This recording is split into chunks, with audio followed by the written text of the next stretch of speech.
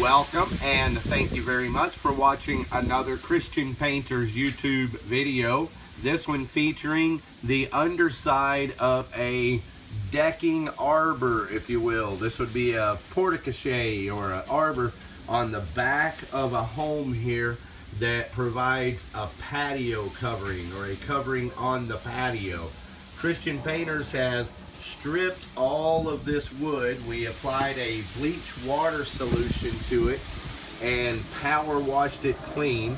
And then now we have applied a Sherwin-Williams Super Deck stain to this. It's a darker brown stain color that we kind of had matched.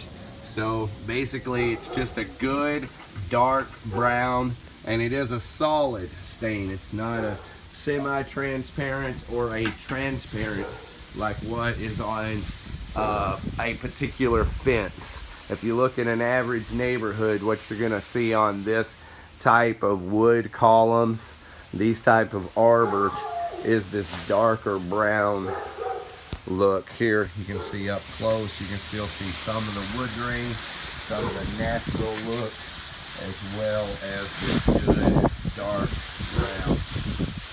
All right, that is very nice, very attractive. Now I'm gonna go ahead and pan out and forgive me for all of the noise. There's a lot of plastic just blowing. We are just now finishing up. Right here you can see the master of the universe right here working together with Christian Painters over 13 years. He is putting the finishing touches on this arbor or porte-cochere, if you want to call it, something like that. It's a covering for this nice patio, and we are right on the Mansfield National Golf Course. I don't know what that hole is, but I do know it's referred to as Hogan's Alley, so whatever that's worth. And over here we have brand new, recently stained fence. And obviously here we have this brand new, recently stained patio covering. Well, thank you very much for watching another Christian Painters YouTube video. When you need a professional painter for your interior or exterior paint needs, you know who to call. Christian Painters, we absolutely do need and very much appreciate your business. So, thank you for watching.